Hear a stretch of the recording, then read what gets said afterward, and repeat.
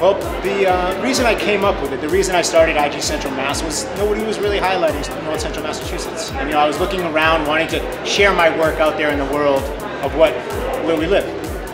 So that, and I was looking around to see if that was happening, but it was only in Worcester, or it was in Springfield, or it was New Hampshire, or it was you know Massachusetts. Nobody was really really highlighting this beautiful region. So I was like, I better do it myself.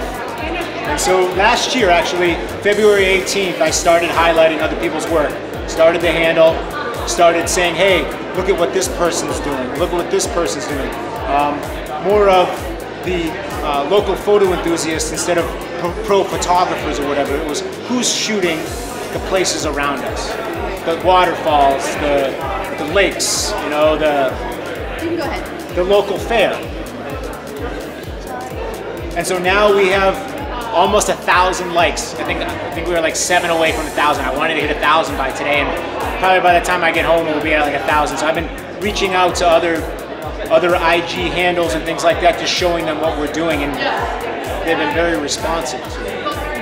So it's it's really humbling to be here and to see this uh, accumulation of great work, but more importantly, the great photographers doing the work, great people sharing themselves in this area that they call home.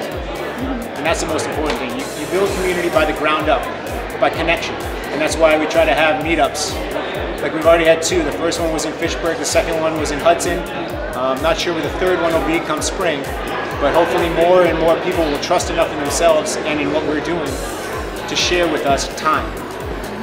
That's the most important thing, sharing human connection through the time we share face to face and not on the internet.